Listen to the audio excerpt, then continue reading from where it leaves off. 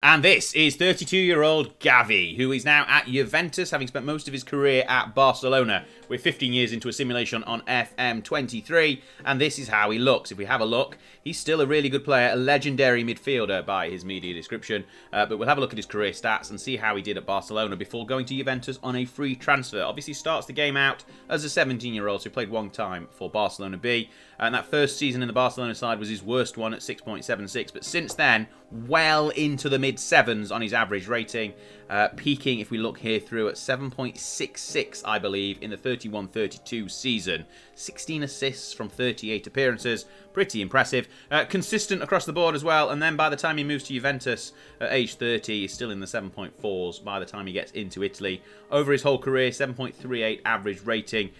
Brit brought down a little bit by that first season, but everything else really, really impressive. Um, and he, look, he looks a really good player still. If we look at his biography, we'll have a look at what he's won, uh, both on a personal level and at a club level as well.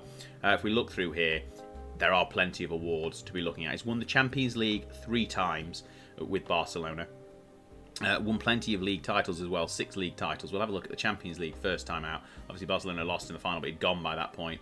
Uh, so three there victories in the Champions League, three other final appearances. The final appearance that's just finished. He'd already left Barcelona. He was at Juventus by that point. Won the Super Cup, uh, won the Nations League with Spain. La Liga won six times.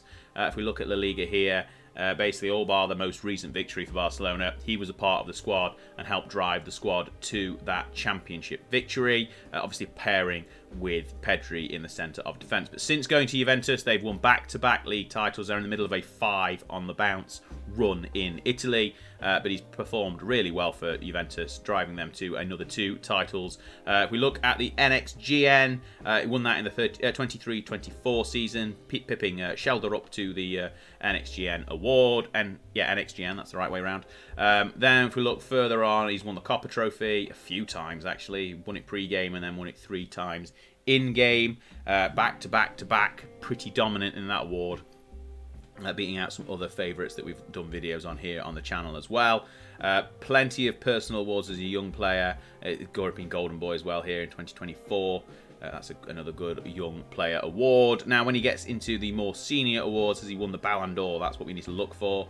Uh, I'm trying to find here. Ballon d'Or. There we go. Yep, he's won the Ballon d'Or in 33, 34 as a 29-year-old, not long before leaving to join Juventus a season later. Uh, but he's had a good run of things. That was his best season, I think, there, the 33, 34. We'll have a look back at his profile. And we'll also jump back to how he was when the game started. Obviously, as a 17-year-old at Barcelona. He's already part of the main club setup. He's already played plenty of games for them.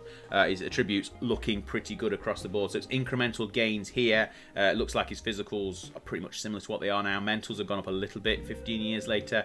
Technicals have improved as well, but he's already a really good player. He's already a wonder kid. His polygon does not look too different. He's sort of rounded out a little bit on the attacking and vision side of things. But if we jump back to the 15 years into the future point where he's now at Juventus, you can see here, 32 years of age, uh, he's had a really good career. He's a legendary midfielder for a reason.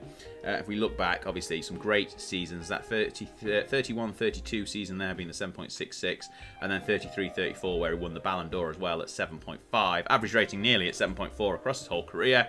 And he's had a great run. If you've managed to sign Gavi away from Barcelona at any point in your save, let us know how he's developed. Uh, drop some comments down below on how you think he's developed in this simulation, and I'll catch you on the next video. Hang around for some more.